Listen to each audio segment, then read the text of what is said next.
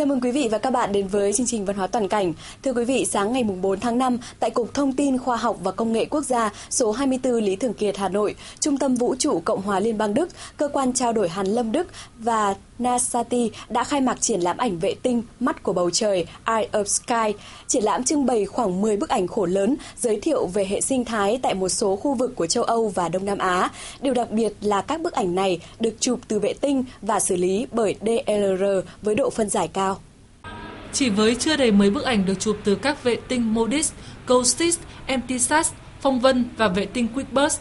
Vệ tinh chụp ảnh với độ phân giải mặt đất lên tới 0,6 mét, khả năng thu nhận nhanh chóng cho một khu vực rộng lớn. Triển lãm đã khái quát được gần như toàn bộ hiện trạng các khu vực sinh thái đặc trưng của châu Âu và Đông Nam Á. Đó là công viên quốc gia Komodo, mạng lưới nuôi trồng thủy sản đa quốc gia ASEM tại Thái Lan, bình nguyên Danube, núi Philippines, hai hệ thống châu thổ chính của Đông Nam Á là Mekong và Irrawaddy, rừng nguyên sinh ở Indonesia, vịnh Hạ Long và Hà Nội, những con rồng của Việt Nam, vân vân. Toàn cảnh thiên nhiên cũng như hiện trạng phát triển của những khu vực kể trên được phản ánh rất chân thực và rõ nét thông qua tốc độ xử lý ảnh của vệ tinh. Chúng ta có thể thấy được ngay điều này khi quan sát các bức ảnh. Tất cả các ảnh chụp vệ tinh này đều có hai gam màu chủ đạo là xanh, đậm nhạt và nâu xám. Đây là hai màu phản ánh độ phủ xanh của khu vực được chụp.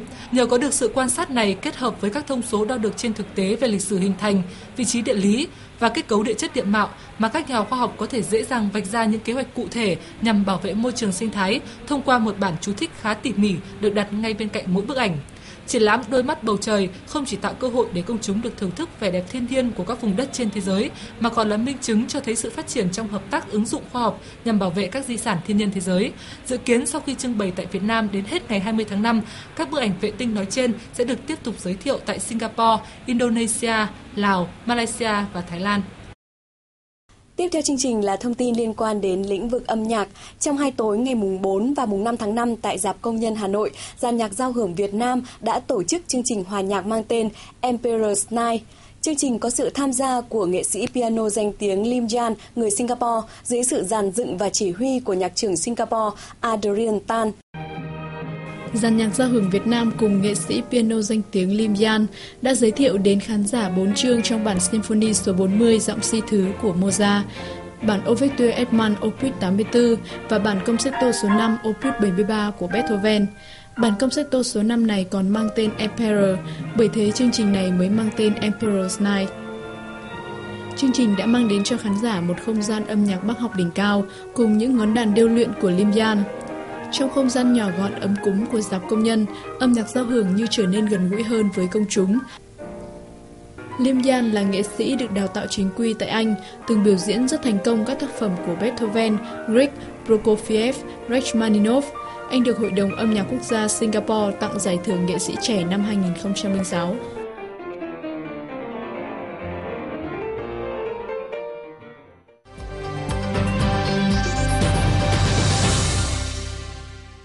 Quý vị, tối ngày 4 tháng 5 vừa qua tại sân khấu Thế giới trẻ số 125 Cống Quỳnh, quận 1, thành phố Hồ Chí Minh, vở kịch cổ trang kinh dị Am Khuya, kịch bản Bùi Quốc Bảo, đạo diễn Ngọc Hùng đã có xuất diễn thứ tư, đông nghẹt khán giả. Thậm chí nhiều người đã chấp nhận ngồi ghế nhựa. Dù chưa thật bài bản trong cách giàn dựng và bố cục câu chuyện thiếu sự hợp lý cần thiết, nhưng bù lại, Am Khuya tạo nên thế mạnh cho mình khi kết hợp được tính kinh dị xen với sự hài hước, đủ để thu hút được khán giả trẻ, phần đông dưới 35 tuổi, mà với không ít người trong số họ đến xem kịch như là một hình thức giải trí. Tình huống của câu chuyện là một ngày một đêm trên Hải Vân Am, chiếc am cổ bí mật, giữ nhiều bí mật của triều đình đương thời. Do trời mưa bão khiến đường đi bị sạt lở, nên Hoàng gia và đoàn tùy tùng buộc phải lưu lại Hải Vân Am.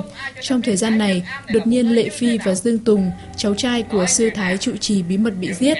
Hai cái chết ấy đã khiến đoàn người hoảng loạn, nhưng họ quyết tâm tìm ra nguyên nhân. Thoạt đầu, Mai Hoa tự nhận mình đã giết người. Sau đó, qua cuộc điều tra của ngự y, Thượng Khanh thú nhận mình chính là thủ phạm đã thừa lệnh hoàng hậu giết người trừ hậu họa. Tuy nhiên, hung thủ thật sự là một người khác. Đó chính là nô tỳ Tiểu Liên, người mang thai với Thượng Khanh nhưng đang tìm cách lên ngôi hoàng hậu vì cho đó là long thai. Sự rùng rợn được đặt những cái chết bí ẩn, không rõ hung thủ và động cơ, vì dường như là ai cũng có lý do giết người của mình.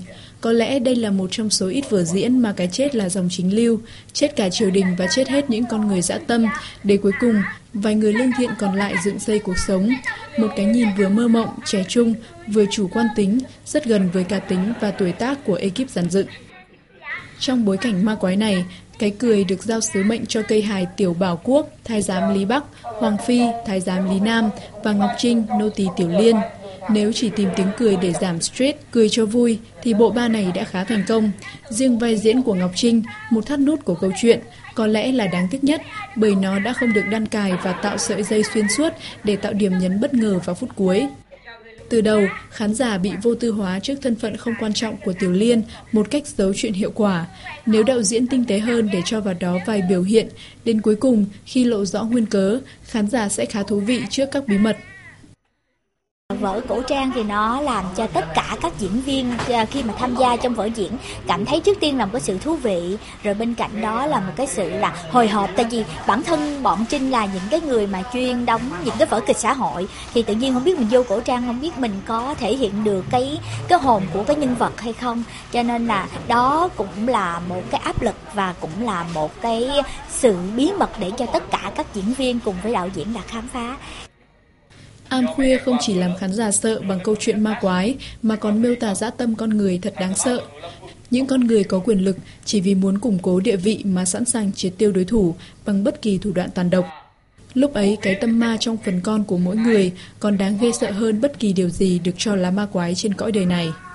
Một điểm nữa giúp Am Khuya hút khách là vì sân khấu thế giới trẻ đã và đang có những vở kinh dị hấp dẫn như Lầu Hoang, Họa Hồn, Biệt thự bí ẩn, nó làm nên cái đà để bán vé.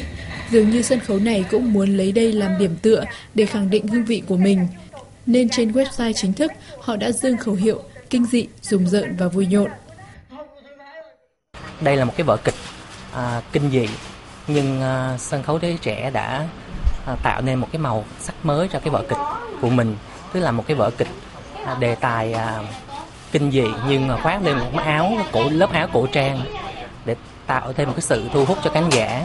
Bởi vì à, các sân khấu kịch ở thành phố Hồ Chí Minh thì cái đề tài kinh dị hiện nay cũng tương đối là nhiều nhưng mà đề tài nó có thể sẽ bị trùng lắp nhau. Nên khi mà mình chọn cái một cái bối cảnh à, thời xa xưa thì để cho khán giả có thêm một cái à, có sự mới lạ để hấp dẫn khán giả hơn.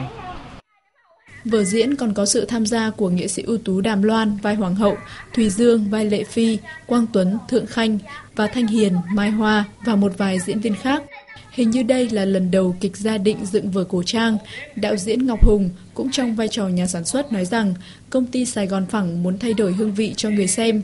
Với mức đầu tư gấp đôi bình thường, Am khuya dù chưa đủ mẫu mực của sân khấu cổ trang, các diễn viên trẻ chưa làm chủ được điệu bộ tuồng cổ nhưng vẫn là một nỗ lực rất đáng khích lệ bởi thực tế cho thấy rằng chúng ta đang quá thiếu các vở cổ trang, dù chỉ vì mục đích tính giải trí hay thương mại.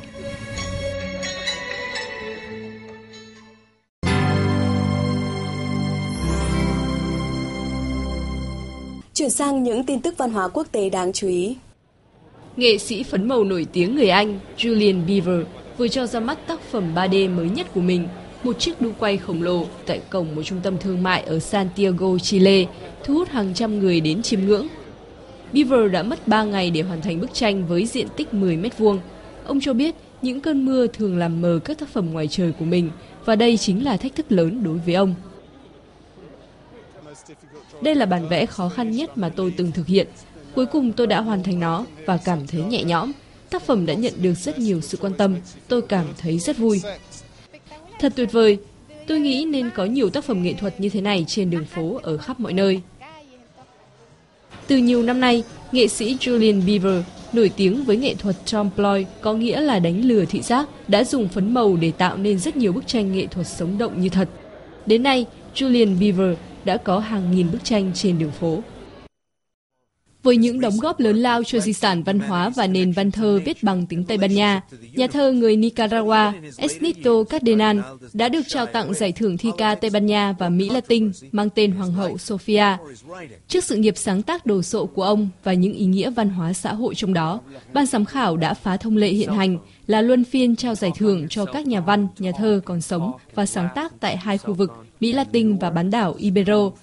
Nhiều tác phẩm thơ của ông được đánh giá cao bởi những giá trị nghệ thuật và nhân văn đỉnh cao khi đề cập đến những vấn đề chính của xã hội đương thời.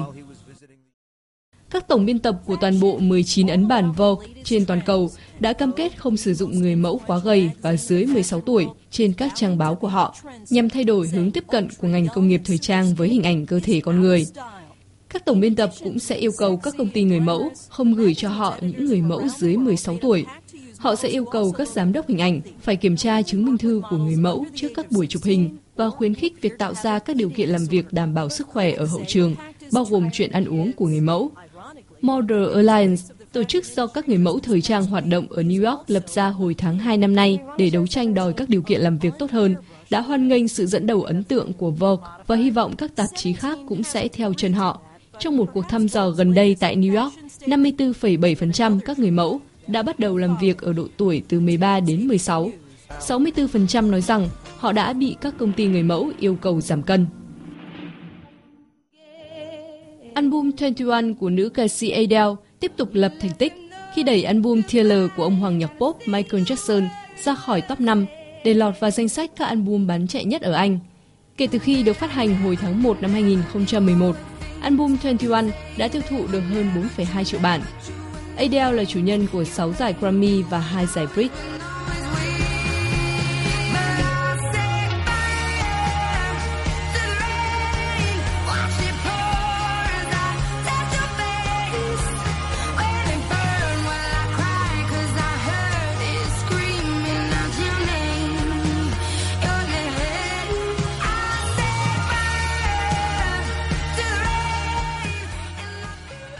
Còn ngay sau đây, mời quý vị cùng đến với một trang web cho phép mọi người có thể đến với những phòng trưng bày nghệ thuật nổi tiếng nhất thế giới chỉ với một cú nhấp chuột đơn giản.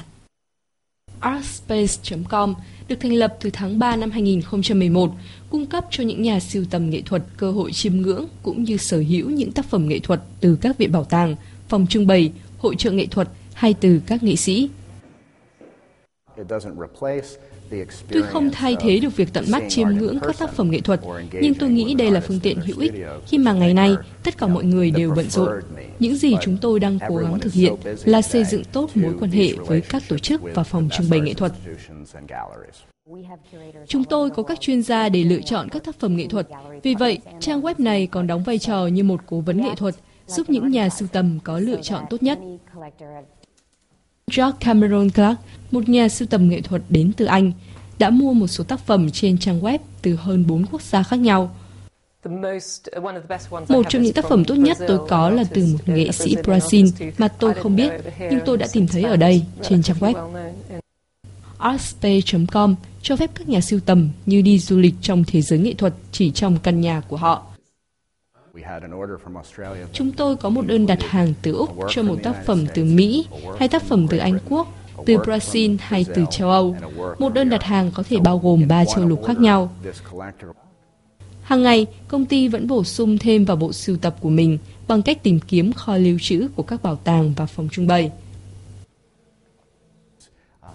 Điều tuyệt vời là một số tác phẩm nghệ thuật trong một số trường hợp đã không có mặt trên thị trường trong 20 hoặc 30 năm và chúng tôi lại giúp mang chúng đến với công chúng với một phương thức tiếp cận thật đơn giản. Đối với Leve, có thể chia sẻ với mọi người các tác phẩm nghệ thuật quý hiếm của thế giới là công việc khiến cô hài lòng nhất, mang các tác phẩm nghệ thuật đến với những người sưu tầm thực sự là điều có ý nghĩa. Những hình ảnh vừa rồi đã kết thúc chương trình văn hóa toàn cảnh ngày hôm nay. Cảm ơn sự quan tâm theo dõi của quý vị và các bạn. Xin kính chào tạm biệt và hẹn gặp lại trong những bản tin tiếp theo.